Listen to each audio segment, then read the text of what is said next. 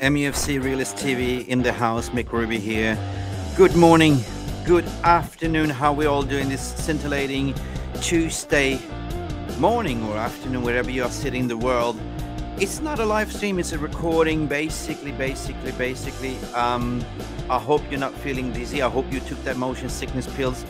There's a lot of things spinning on Neil Ashton's plate at the moment, and if you don't know who Neil Ashton is, he is the head of the PR for Manchester United PLC. Hello, hello, hello. But what it matters is we will pause this music because at the end of the day, it is this. Oh my God. Neil, stop playing that music. Seriously.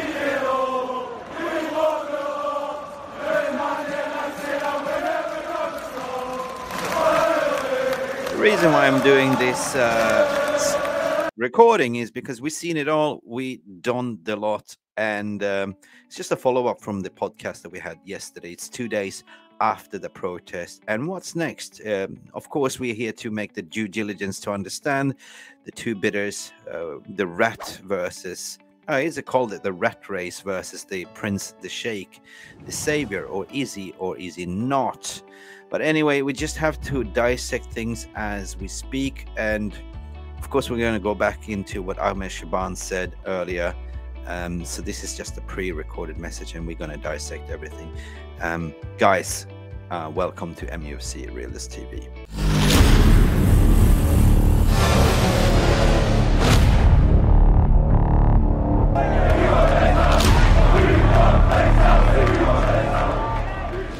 Now, let's go into look at uh, that's how how we can compare. Look at Al Jazeera, which is not a non-British um, magazine. We've been looking at a lot of uh, British outlets and reporters reporting things, but look at what the actually Qataris are saying. This is kind of interesting because they're saying two different things. Like, so let's unpack this story from Al Jazeera that came out the other day. I hear you. Qatar Sheikh Yassim's submits final bid for Manchester United, right? That means that they will disclose an undisclosed figure to to the owners and an additional investment directly to the club. Now, Ahmed will talk about this, um, you know, further up this show as well. What does that mean? But you know, Doha, Qatar, basically by Hafsa Adil, brilliant, brilliant journalist. Um, been reading his stories before, but uh, Qatari businessman uh, Sheikh Yassim bin Hamad Al Thani, we all know his name by now, has submitted a third and final bid to buy Manchester United Football Club. His representatives told Al Jazeera. Uh, Yassim's bid was submitted before Friday night, 9 p.m. European time, I guess. Deadline set by the current club owners, the Glazer family of the United States. We can confirm that Sheikh Yassim's bid has been submitted final bid for Manchester United Football Club. His representatives told Al Jazeera, and this is his representatives, like you know, speaking directly to Al Jazeera, which is the national newspaper, which is also the global newspapers in certain sense. But you know what? Jassim is the chairman and leading Qatari bank and son of former Qatari prime minister. The lifelong United fans debt-free bid. Well, this is what we like the debt-free bid, which was the first submitted by in February, seeks full ownership of the club. His representative said, in addition of offering an undisclosed figure to buy the club money to go to the sellers. This is direct money going straight under the table to the Glazers. Is that what they're saying? Yassim's proposals also include a plan to further invest significant amount of additional capital and infrastructure investments into the club directly, not to the sellers. Wow. This is interesting, really. This is not really what the British media is reporting. They're basically trying to say here that they, they've gone full package be over the evaluation. So basically, more money to the Glazers, but in addition, directly invest in the infrastructure to the club and the community around. Now, this is what we're here for. We got to sort of do due, due diligence on what the two bidders offer. Maybe it's a rat race, right? Or maybe it's a Formula One race. It is the what I call it the potato farmer versus the Ferrari racer in a way, right? Uh, British billionaire Jim Ratcliffe, on the other hand, was the only party to submit a bid before Friday, according to Al Jazeera deadline, according to report by British state broadcaster BBC. So again, this is the BBC that's been reporting on the British side. Ratcliffe, founder and head of Ineos chemical chemical uh, conglomerate, is reportedly seeking 69% ownership of the club. That's a partial um, partial sell in certain way. Um, and same percentage owned by the Glazers. So basically, swap swap like by like, you know, just uh, swap seats, right? The Qatari businessman's uh, bid was submitted through nine two foundation. Is it 92 foundation? 92 foundation. Promise a rosy future for the club where to be successful, including investments in the football teams, the training center, the stadium, and the wider infrastructure, the fan experience, and the community the club supports. This is music to my ears. This is, you know, a wet dream. This is what we want, people, isn't it? Right? The, by proposing to take over Sheikh Yassim's plans to return the club to the former glory days, both on the pitch and off the pitch. 100%. And of course, they're throwing in pictures of the protest um, people in green and gold until we're sold, right? Uh, but bid reflects what they're saying in Qatar's ambition.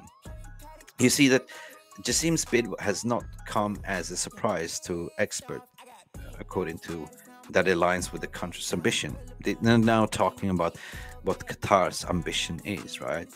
Um, Sheikh Yassim's his interest, according to Manchester United, suggests that Qatar is embarking on the next stage of his ambition, according to Ross Griffin, an assistant professor at Qatar University, whose research includes the portrayal of the Arab world in the Western media and the relationship between sports and post colonial society. We're going more into the politics as well. this is interesting. Qatar's ambition in sport brackets is breaking up into two branches, he said.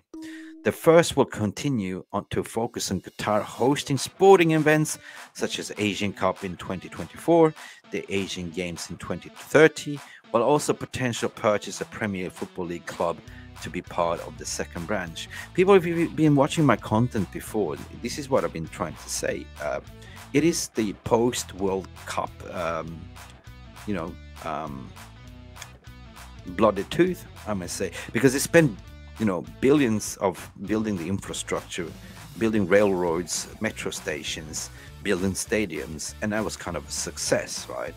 Now it is time to put Qatar. They put Qatar on the map, and now they just want to have this continuance, strike Because oil and gas will eventually finish. So you kind of look at this article to say that yeah, this is the plan because we are looking to host other events like you know uh, the Asian Games and basketballs and MMAs and cricket and all that jazz, like you know. So the Glazers announced the plan to sell the club last November, and the bidding process began February. They reported to want to sell the club for six billion pounds. It's about approximately 7.45 million US dollar, which is a record fee for any sporting club, 100%. Yassim representative said it is now time for the sellers to make a decision as to how they will proceed with the bidding process. So now it's kind of coming out that they are getting anxious. Like we've done everything that you asked for, right? We submitted everything and you actually got more than you asked for, right? We we actually met your evaluation. It's time to make a decision. The Glazers have not confirmed when the process will close and if the club will change hands at all. Weird. Weird. Why would you keep your bidders in the loop? So this is kind of um, the uh, warning alerts what I want to sort of bring into to like you know compare the apples to apples. But you know guys this is just me reading what al jazeera is doing comparing apples to apples calling a spade a spade. But let's look at yesterday's broadcast that we did live with Ahmed Shaban as well, who is a financial business analyst and expert that worked in the banking finance industry in Qatar. Um, let me just uh, say hello to Ahmed Shaban. How are you doing, mate? I'm very, very well. Happy to be with you, Mick. How are you? I'm good, thank you. I'm good. Tired, tired, tired, sir. Very tired. Um, I mean, for me, like you know, of course, it's it's always been to protect the badge in a way and protect the media spin because I said this from very first beginning. Like you know, do expect the the media to spin you dizzy, right? And yeah. remember who sits at the DJ board. It's uh, Neil Ashton, you know, who is in charge of all the P- PR because any positive PR for the Glazers at the moment, and the, it is positive because you generate a lot of money on the clicks, right? And sure. it's clear and obvious that they are leaking out information to generate like attraction. And I just tweeted out today, like you know, a, DJ on a mad substance spinning his records on 200 DPIs, like you know, uh, don't get the, don't get this, don't don't be dizzy by the Pied Piper how they spin the records, like you know, and you know i mean you can just tell you what, what your background is uh, for the viewers as well like you know and you know. Well I, I, I'm, I'm personally i'm a financial analyst and a business analyst as well. Work for some financial institution. Um, i have quite a few credentials uh, in, in, in project management, statistical analysis, and statistical analysis based project management, such as Six Sigma and Lean. Um, that that's generally my background and my studies and education.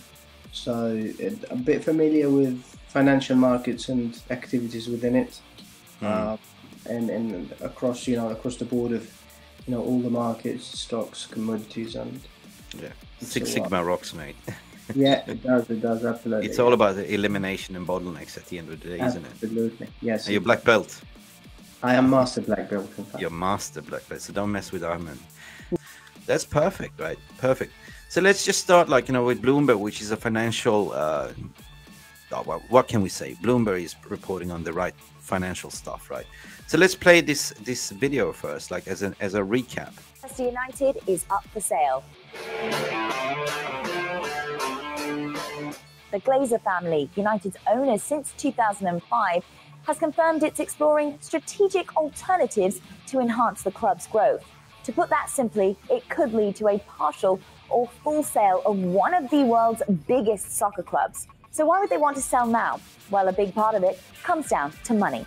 The Glazers believe that the sale could fetch a record setting deal well in excess of the $4.7 billion that Walmart heir Rob Walton paid for the NFL's Denver Broncos in August. But it isn't so straightforward. The cost of debt is rising, so it may be harder to attract bidders than it was for, say, rival Premiership club Chelsea sold back in May.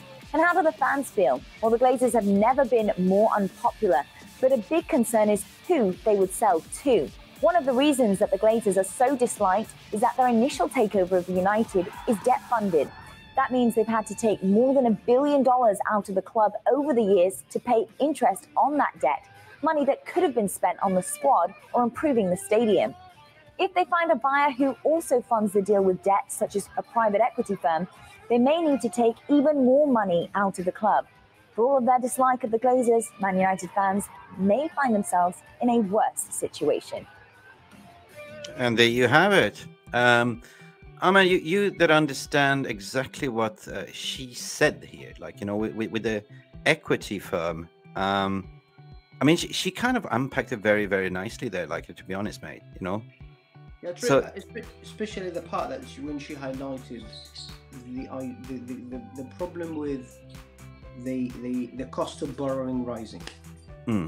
Can you explain a little bit more in layman terms what that means? Like, you know, you coming from the financial banking industry. Well, the, the thing is, when when when the inflation hits hits record heights, the central banks starts to do uh, an, an opposition to what has been happening that has caused this inflation. What causes inflation is the amount is, is spending, the, the, the money being printed, and all of that, which happens happens dur- during a cycle called quantitative easing.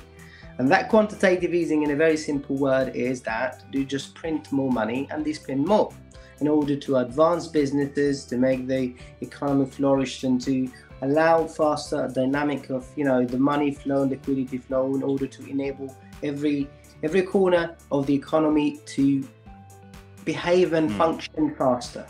And during the inflation hits high, the opposite happens, which is called quantitative tightening. And that they strike the economy with something called interest rate. So, in, in order to go and borrow money that you used to borrow before on, on, actually in some cases in a zero interest basis, yeah.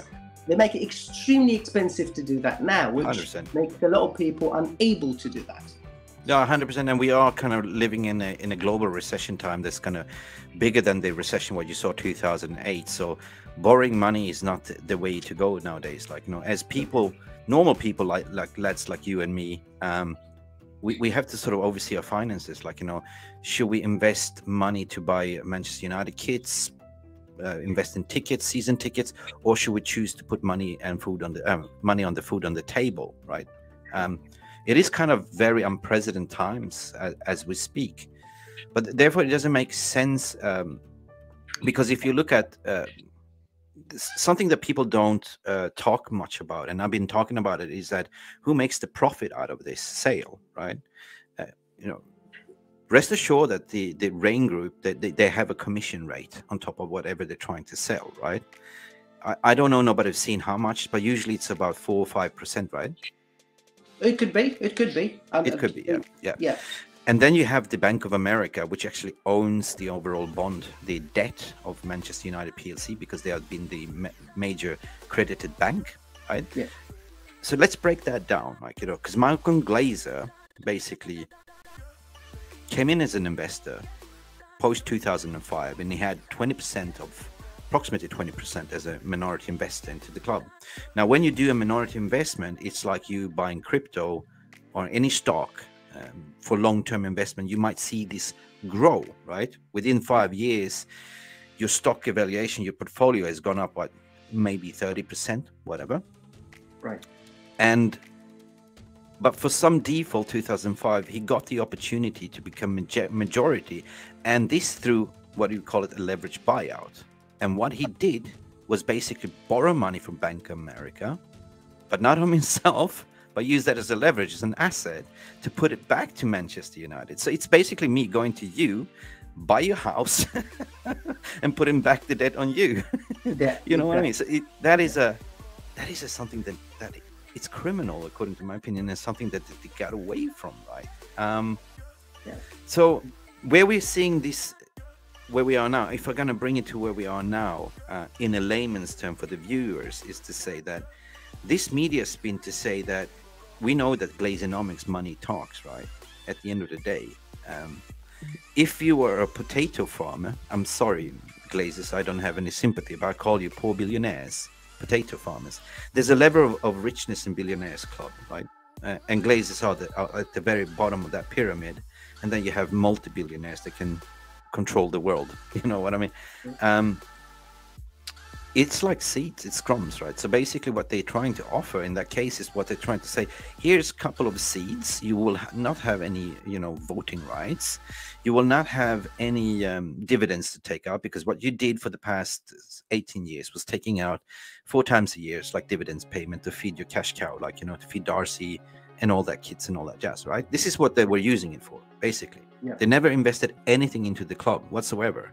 And part of what Bloomberg is saying, they, they missed the point is why are they selling the club? Because all of a sudden they're forced, they're forced to dip into their own pockets. They are forced, and they're not willing to do that. And therefore, they went into a um, what do you call it? Strategic investment to explore the opportunities. But what's so interesting, Ahmed, is well that during these um, strategic investments, all the bidders and and hedge funds had it was like an open heart surgery right? You're allowed to open up the bonnet of your rolls royce to look what's under the hood. And what you saw there was rusty parts yeah? And who would then put in money to a business that's been badly run right? You cannot even ha hardly run your finances. And if you look at Glazer's economics back in us it's all tied into assets. They're also in financial trouble over there. So if somebody then comes in to offer you this like you know here's a couple of seeds. Hopefully it will rain. You might have bad crop but within 10 years maybe your hope that the evaluation of the club, what you invested, will be 10, 15 billion. Or option B, Sheikh Yassim comes in. He spent numerous hours overseeing everything, which is called a due diligence uh, checklist, um, which has been going on for the past four weeks. Not even because it's Ramadan, because people are actually working there as well, including yourself. You work there as well, so you know, you know, there's non-Muslims that's part of this team as well that's working, right? Business operations doesn't stand still. So it's been that kind of due diligence uh, checklist protest uh, checklist during this kind of mini exclusivity, like you know what about this? What about that? What about that? Until you come to a final agreement, which is called the letter of intent, right? And you know what a letter of intent is, right? Absolutely, yes. Absolutely. Yes, we, we so for for it.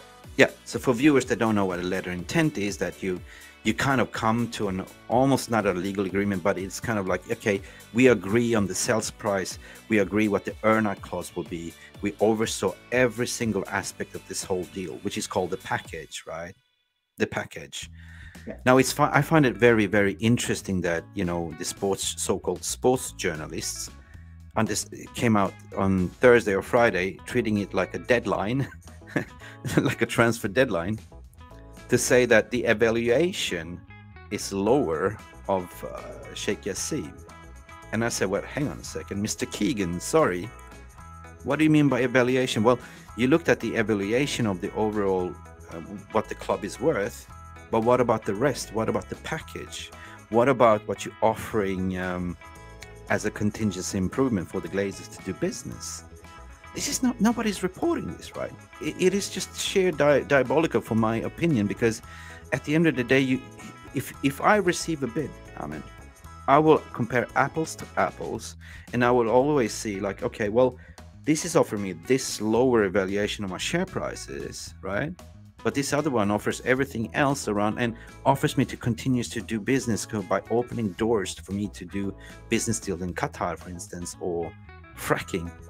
And on the other hand, if you look at Qatar, they are one of the major asset-rich in gas and petro petrochemicals in, in the world, and they could easily go to Sir Ineos to say, "Look, if you let us have this deal, we'll let you in some projects here to do some fracking or you know into your company."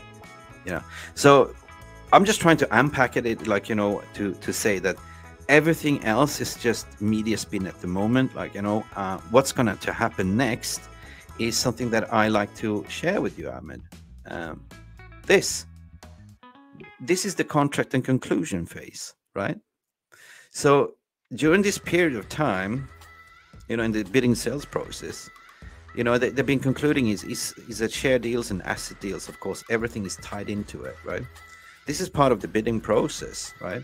And what we're talking about before is the letter of intent, where you have the due diligence checklist. I will just back the slide one one more one more slide to say that you know what, um, it's the due diligence, which is the due diligence uh, checklist, and this is the period you you have the time to, okay, um, what about this? What about the share prices? What about the B shares, A shares, on that jazz, right? And and during this period of time, you also submit your shadow directors who is going to be involved in 92 Foundation or Sir Jim, Sir Jim Ratcliffe's team to that needs to be submitted to the Premier League, um, to the UEFA, to the government, and all that. Right? Okay, I'm trying to sort of slow myself down because I have too many coffees this morning anyway. Um, so the letter intent, what, what I'm trying to say is, is basically you you then when you come to this stage is that you agreed on everything, the earnout clauses, what what would be the payouts, right? and the payouts could also be like how much money are you going to receive tax free under the table?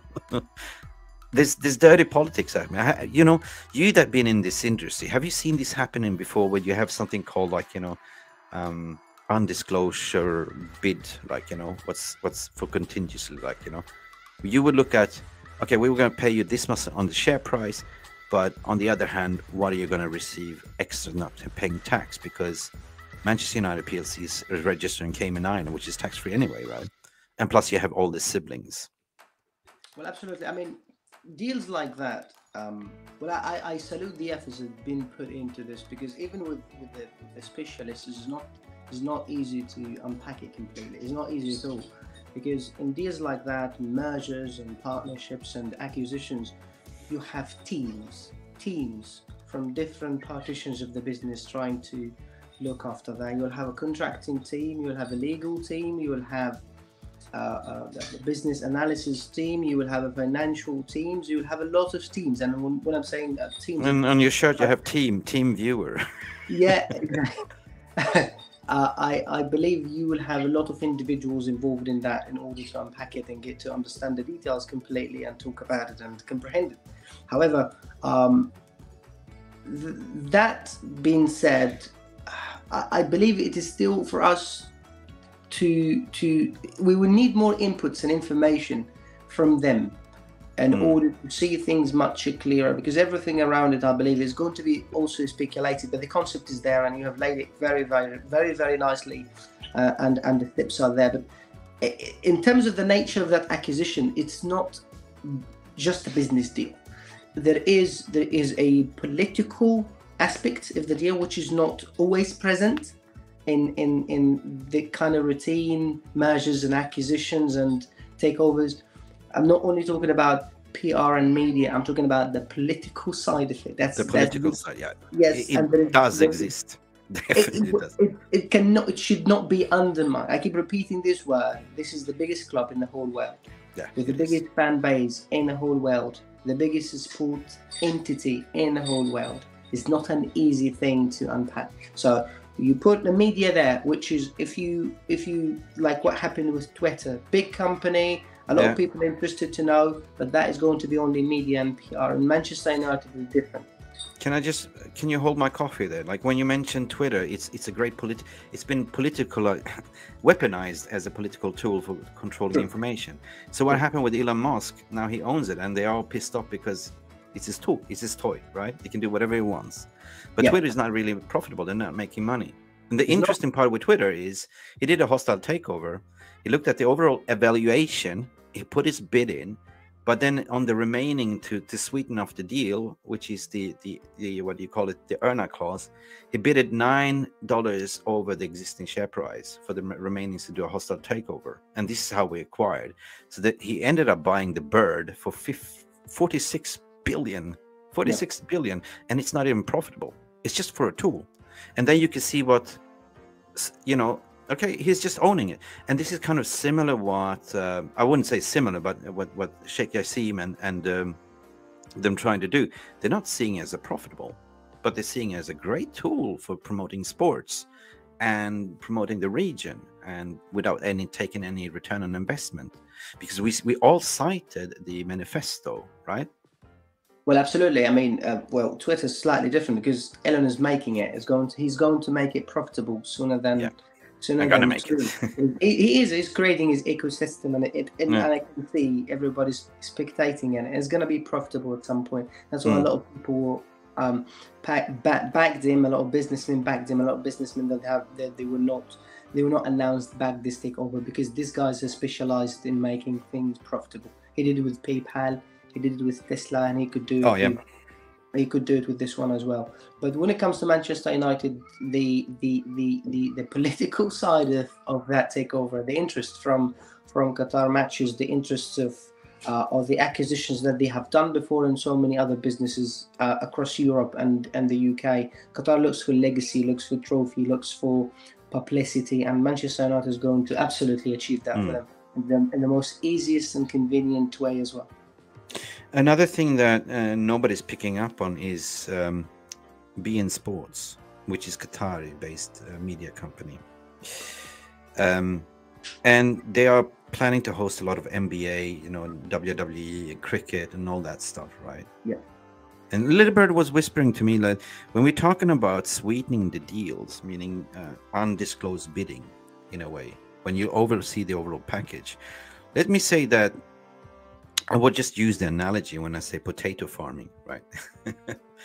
so, if the reports is correct, what the media is saying that uh, you know uh, the last roll of the dice from Ineos and Sir Ratcliffe you know it's just putting pu- pushing it the final can to the cliff right because if you are like a, what you say a boyhood manchester united fan and you know you want to your manifesto is to invest in the community put it back to manchester then coming out with this bid to say well i will keep the glazers like you know in a minority on 20% does not make sense you know? You can just unpack it there right? You can like hold my coffee hold my beer unpack it there. And the political and business suicide by doing so will be even harder. You can always see like you know people are now starting hashtag no no jim ratcliffe no, no glazers you're the similar trader blah blah blah right? So just to take over on that negativity spell would damage your own business as Ineos, right? All right. So if you're a Glazers, you were giving the seeds and say, well, maybe within 15 years you might have a successful crop, but it all depends on the weather. If it rains, if it's sunshine, and all that stuff, and depending on how the club is performing. Or B, you have somebody with endless cash reserves and natural resources to come and say, well, anyone that's been dealing with the Emiratis or local Qataris, they're not stupid. They, you know, they're shrewd businessmen. Trust me. My bosses used to be like that too. They will scrutinize every single deal, and then they don't want to be taken to the dryers. You know, as what I say, we don't take us for hostage, like Manchester United said. Um, they have the money to do like this, right? Yeah. But you, you just don't pull your pants down to your ankle straight away and say, "Here's Habibi, here's seven billion on the table." No, you start you start small, right? But any instance, if they get a warning sign that say, "Well, your current your bid is currently below the winning bid," they can just go on 24 hours. Here's one billion more, right? And now I'll get to that point. I will get to that point because I lost my train of thought here. I mean, um, I, yeah, hmm? I mean it, that, that's still too early for because again, it is. What, what I feel it's it's more of a PR kind of kind kind of a um, a, a, battle. It, it is a PR battle now because things are not as clear as it should. Not yet. It's not as clear as, it, and that's what I say. It's like a PR battle. It's like a slugfest when you have two heavyweights going for a match, and they're having a press conference and they're slugging each other off and we're going to kick your ass. Yeah, yeah, yeah. And they slap each other. It's kind of similar what you see here. It's normal. It's called gamemanship, right? Yeah.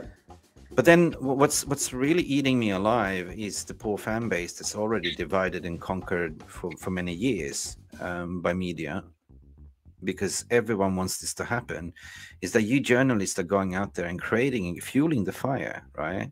You know be more sensitive be more astute. And what i'm trying to say to people is just relax calm just decision will come right? But the fear of of uh, i mean we, we're kind of as a fans are entitled to do due diligence of the current bid right? When i was speaking to Phil Brown the other day as well. We, we, we both came came to terms to say that if this was the only bid that was one year ago with Sir Jim Ratcliffe and just had Glazers on 20%, everyone would jump on the bandwagon, right? Yeah. But we have now two bids, which is offering 100%, and one is saying, you know, 20% with Sir Jim Ratcliffe and the Glazers. But there's no no doubt in my mind that whatever the Glazers choose, Glazonomics talks, money talks. You follow the money, you know. No, well, not in not necessarily in that case because the differences are not really huge. Okay, one, break it down. Things, okay, this is Mickley. I, I would like to say this, and I know this is quite a big word and a big statement to, to put out there. The the takeover from Jim Ratcliffe is an existential threat to Manchester United, and I mean it. Existential threat to the future of Manchester United. Existential threat to the present of Manchester United. Existential threat to everything good we hope for Manchester United. And I know that would sound a bit biased looking at me being an Arab and all of that, thinking that, um, are you thinking that maybe that's my bias or something? But it's actually not the case. And I could simply unpack it by by saying that it's it will it will put the the future of the club on the edge and success in such a very competitive environment is not really guaranteed. And come a season, you might experience something similar to Liverpool, like a downtrend for a year or two. Even we had these downtrends during the most successful long-term, long-term, uh, uh, uh, long-term trend with Sir Alex Ferguson. You had a small downtrend. You had an opposite trend for some time. But if you put the equity in such a verge of a collapse under that much of financial distress, distress, you will not be able to survive a short term downtrend mm. because you will be always always subject to you know you need that revenue that you will get from a continuous success, a continuous hmm. qualifications mm. to Champions League. Because first of all, the, the the club will be bought in debt. You already have an existing debt, and also if you want to improve the stadium and the infrastructure, that's another debt. If you want to purchase more players, as other debt. The revenues are not going to be the same. You're going through, or you're going to get into recession very soon as well. So revenues, of the revenues are going to go down. Earnings are going to go down. So imagine your spendings are going to be more. You'll have more premium and more royalties and bounties on on whatever money you're going to borrow because it's the most expensive time to borrow money ever, but you will yeah. have to borrow money because there is no money for you to spend in order to be able to compete. That's the option number one. So you put the equity under so much financial distress. Or the second option is you operate it exactly the same way he's operating on Nice, like a mediocre, middle table kind of a club. Mm. This is when this is when you can have it safe. You will not have success. You will not get where you want, but you will not be bankrupt. Um, when you come to uh, the mediocre club, so what you're trying to say is minimum investment into the club. It's like you bought a Ferrari, right? But you don't put uh, enough fuel into the Ferrari to be competitive to reach to uh, you know the, the finish line. You put 80. You know, Ferrari needs 90, 95. Mm. Oh, in terms of uh, fuel, yeah. You put diesel in. Diesel, yeah. Yeah, oh. that's what. That's basically what you're gonna do. You you bought a Ferrari, and even in the case of Jim Jim Ratcliffe, he borrowed the money from a bank to buy the, the Ferrari. Mm. So he's in debt for the Ferrari, or the Ferrari is is is is a debt, is a bond. And yeah. Yeah. Um you mentioned something that I forgot. Hold my beer on sorry, not beer. Hold my coffee on on that mm. bond. But let's take the analogy of Ferrari, right? Okay, yeah, everyone wants to buy that red Ferrari, the beautiful red devil Ferrari, right? Mm. Yeah. 100%. Instead of having the horse of the Ferrari, you put the devil on it, like the emblem yeah. of Manchester United, right? Everyone wants to buy it, of course. It's the most biggest club in the world, uh, generates a lot of money, like internally as well. Um, we're sustainable enough to uh, be running on our own football operations. Um, but um, the thing is, right, you can buy this Ferrari, but how are you going to make it competitive, right? You don't have enough um, ingredients to to be competitive. Don't treat it like a mediocre club or you know or such a thing, or you will have some somebody will have endless of resources that actually produce petrochemicals to buy that Ferrari and keep racing that Ferrari and winning and winning and winning, like you know, lap after lap, lap after lap, lap after lap. So this is the way I see it. But um, in terms of, again, what you mentioned, bonds, right? Bonds is something that Bank of America has been leveraging about you to, by allowing the Glazers to use overdrafts, right? Credit yeah. after credit. In transfer market has been using overdrafts and credit, right? They never dipped into their own pocket. But that bond has interest rates as well. So what I'm trying to say before is you got to look at who is actually profiting of this sale as well, right? It's not only the Raine Group, it's not only uh, the Glazers, but the Bank of America will get payout on that bond as well, right? They will also walk away with profit, correct? That's correct. Definitely.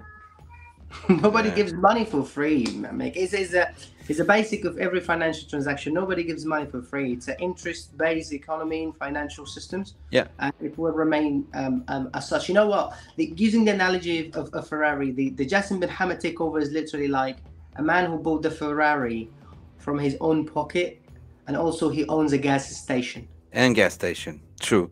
Uh, thank you all for coming in. Thank you so much. You know, um, it is green and gold until we sell, and we are coming to a, to a full sale. I, I don't see the other way. And whatever we're saying here, it's not, you know, it's not being that we are journalists or anything else. We are just a genuine community discussing. We are million supporters sitting in different positions, like Ahmed itself, you know, working in the fi banking finance and stuff like that. So, guys, if you want to be part of the Manchester United MUFC Realist TV community, please like and subscribe. It really helps the community for us to grow, to continue making this educational content. But also, you know, we are red. I mean, I, am patriot red, passionate red, close to my heart, man. All we can say is we will give you back today. And thank you for tuning in. Thank you, Ahmed. Please, guys, be nice to each other on the socials. Don't fight. Take emotion sickness pills. And yeah, just smile. Be happy. Don't worry. Don't worry. Be happy. Cheers, guys. Cheers, Thank you. Time to go. Time to go. Bye. Bye. Bye. Thank you so much for stopping by and watching MUFC Realist TV. Don't forget to like and subscribe and follow us on the socials.